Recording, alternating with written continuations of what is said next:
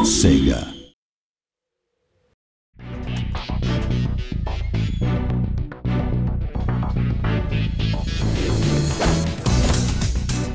Kazuma Kiryu, once a household name on the underworld circuit, Dragon of Dojima, former chairman of the Tojo clan, the head honcho.